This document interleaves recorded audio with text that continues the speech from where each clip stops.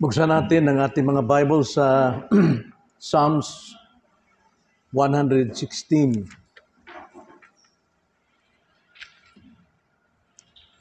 Psalms 116.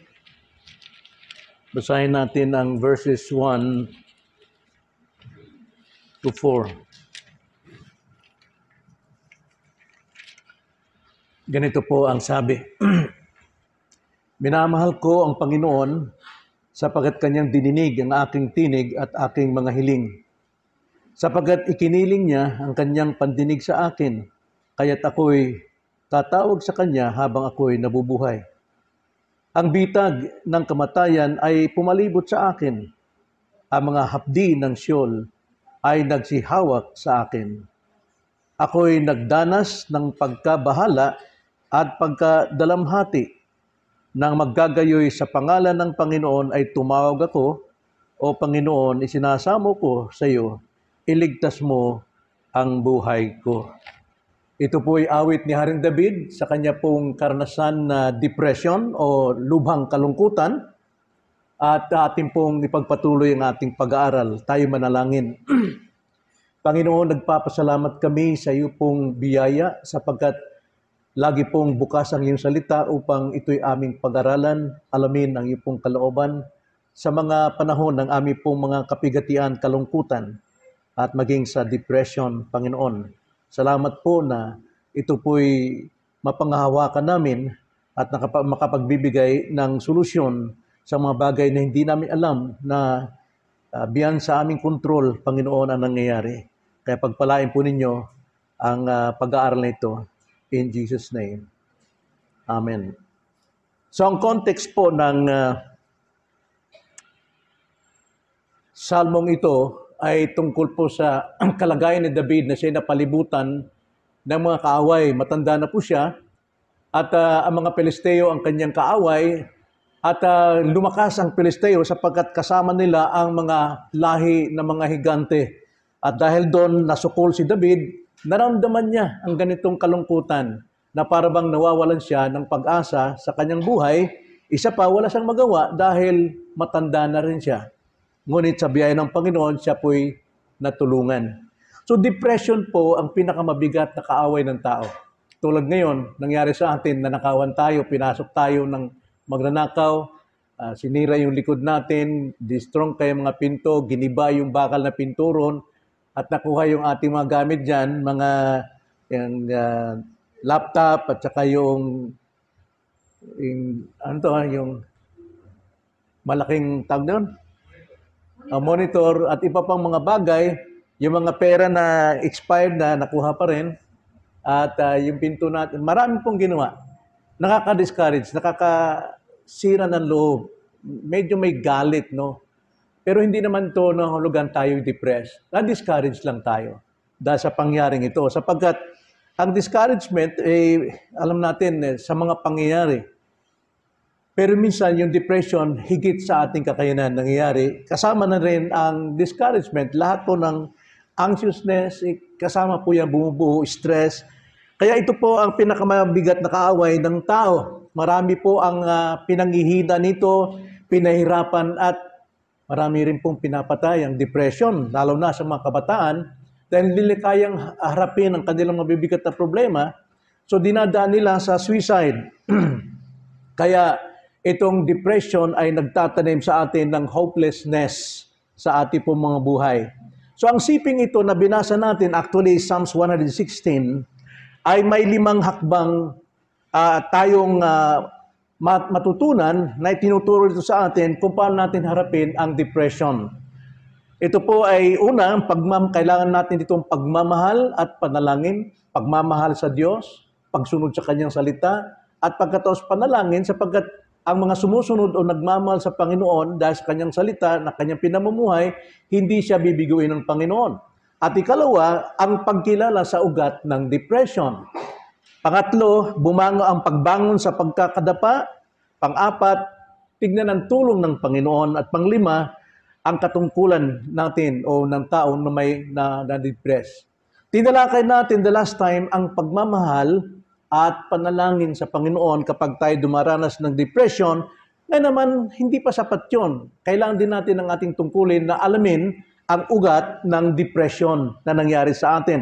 No, alam na natin kung ano yung ugat ng depression ni David sa kanyang katandaan, sa kahinaan niya, sa maraming mabigat na kalaban. So nakita natin unang hakbang na ito, pagmamahal sa Diyos at ang panalangin. Subalit, tungkulin din nating suriin kung ano bang pinagmulan, ano bang ugat ng ating nararamdamang kabigatan. So kilalanan nito ang ugat, kilalanin natin ang ugat ng labis na kalungkutan o depression. Ito po yung ating paksa ngayon, pagkilala sa ugat ng depression. Now, kilalanin natin ang ugat ng uh, ating kalungkutan sa dalawang paraan. Una, kilalanin mo ang bitag ng kamatayan na sinasabi sa verse 3. Ito po yung ating text ngayon. Ang sabi, ang bitag ng kamatayan ay pumalibot sa akin. Ang mga hapdi ng siyol ay nagsihawak sa akin. Ako'y nagdanas ng pagkabahala at pagdalamhati. Ito yung nararamdaman ng isang taong nandyan po sa matinding kalungkutan, kabiguan, parang gano'n na wala ng pag-asa. Napapalibutan siya ng, uh, ng uh, bitag at napapalibutan siya ng siyol. Now, bitag, alam natin, bitag ng kamatayan at ang siyon, libingan. No, libingan, yun yung dahilan. Tatignan natin, anong bitag ng kamatayan ang tinutukoy dito mga kapatid? Para kay David, sa pangyayari ito, yung kamatayang gagawin ng Pilisteo. At hindi lamang ng mga Pilisteo, kundi ang kanilang pinagmamalakin, mga kampo nito, mga higante, na hindi kayang uh, kalabanin ng sino pa man. Kinilala ito ni David na siyang mortal na kaaway na nagpahina ng kanyang loob. Pumapalibot sa kanyang paligid at wala siyang kakayanan. Wala siyang kapayapaan. Takot ang laging nararamdaman ni David sa sandaling ito. Ngunit alam natin na siya po ay iniligtas ni Abishai. At si Abishai nanumpa na sabi niya, Haring David, Simula ngayon, hindi ka na sasama sa amin sa pakikipaglaban, sapagat alam natin matanda na si David, baka mapatay mo ang liwanag ng Israel o mawala ng pag-asa ang Israel. So kailangan si David magpahinga na muna at hayaan niya ang mga tao na nagtitiwala sa Panginoon ang siyang lumaban. Now, ganun din po mga kapatid, ang Pilisteo ay lumalarawan sa ating panahon kasalanan. Ito po yung hindi pumipigil sa atin, laging pumapalibot sa atin. Dinadala tayo sa kamatayan. Na alam naman natin, kapag tayo po ay nahulog sa kasalanan, namamatay po ang ating fellowship sa Panginoon. Hindi namamatay yung ating relasyon sa Diyos sapagkat tayo ay ligtas na. Ngunit kapag tayo nahuhulog sa kasalanan, namamatay ang ating fellowship sa Panginoon. Kaya tayo nakakagawa ng iba't ibang mga bagay. Lumalaw, lumalala yung ating kalagayan. Nawawalan tayo ng pag-asa. Humihina ang ating pananampalataya. At hindi lamang ang kasalanan, alam naman natin, ang kampo ng kasalanan, walang iba kundi ang sanlibutan. Nakapalibot sa atin ang sanlibutan, andyan ang lahat ng temptations, the world. At andyan din ang gawa ni Satan, kang kanya mga kampon, at higit sa lahat yung ating sinful nature, ang ating remaining sin. Yan po'y pumapalibot sa atin. Gusto tayong patayin sa ating fellowship sa ating Panginoon. So dapat nating kilalanin ito. Sapagkat kung hindi natin kilalanin yung ating mga kaaway na pumapalibot sa atin, wala tayong solusyon. Sapagkat pinapalagay natin, kaya nating harapin ang ating depression. Kaya ang sabi po sa 1 John 1, 8 hanggang 10, ganito po ang sabi, kung sinasabi nating tayo walang kasalanan, dinadaya natin ang ating sarili at ang katotohanan ay wala sa atin. Oh, Christian na tayo, masabi natin hindi tayo nagkakasala, pero alam natin, hindi totoo yan. Sapagat kung sinasabi natin wala tayong kasalanan, dinadaya natin ang ating sarili at wala sa ating katotohanan. At kapag wala sa ating katotohanan, magulo isip natin. No, kung aminin natin, ang sabi sa verse 9, kung ipinapahayag natin ang ating mga kasalanan, siya tapat at banal, magpapatawad sa ating mga kasalanan at tayo'y lilinisin sa lahat ng kalikuan. Iyon yung kailangan natin. Diyos lang talaga ang ating uh, kailangan pagdating natin sa matinding kalungkutan, beyond our control na yung pangyayari. Kaya ulitin, inulit dito sa verse 10, kung sinasabi nating tayo hindi nagkakasala dahil Christian na tayo, ginagawa nating sinungaling ang Diyos, siya, ang kanyang salita ay wala sa atin. So hindi para tayong tulad sa mga unbeliever na hindi nating kinikilala na tayo po ay mga Kristiyano. So yun po yung kailangan natin para maharap natin ang matinding uh, kalungkutang ito, depression ito, ay kilala natin ang bitag ng kamatayan. Number one, sin. No? At kailangan i-confess natin ito. Ikalawa, kilalanin natin ang mga hapdi ng Sheol. Verse 3 again. Ang bitag ng kamatayan ay pumapalibot sa akin. Ang mga hapdi ng Sheol ay nagsihawak sa akin. Ako'y nagdanas ng pagkabahala at pagkadalamhati. No, ang sabi po diyan, ang hapdi ng Siyol ang nagsihawak sa atin. So ano po itong nagsihawak sa atin?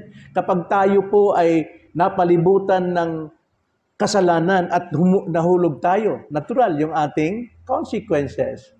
Ito yung hindi talaga mawawala sa atin hahabol at hahabol sa atin ang consequence. Kaya sabi nga ng Panginoon sa uh, sa banal na kasulatan, Numbers, I think, 32 verse 23, Be sure your sin will find you out.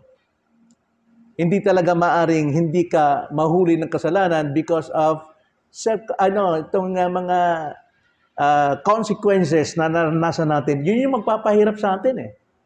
Hanggat hindi natin uh, kinilala ito, hanggat hindi natin na-confess ito, mananatili sa atin ang mga bunga ng ating mga nagawang kasalanan. Hapdi yan eh, ng siyol. Pag sinabing hapdi ng siyol, hapdi po ng libingan. Libingan kasi is siyol or sometimes tinawag itong impyerno. Well, kapag tayo po ay nasa consequence talaga, parang napakabigat, parang nasa hapdi na tayo ng libingan natin para tayong mamamatay. Gusto ko nang mamatay, di ba?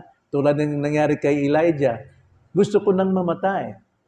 Yan po ang hapdi ng consequences na ating pong naranasan. At ito'y alam ni David. Naubos ang lakas ni David sa kanyang mga kaaway. Siya'y matanda na. Wala na po siya magawa. Ito din ang nagsisihawak sa atin, yung consequence na ito. Hapding idinudulot ng kasalanan sa tuwing nahuhulog tayo sa tentasyon. Kaya tayo dumadanas ng pagkabahala, pagdalamhati, at kawalang pag-asa.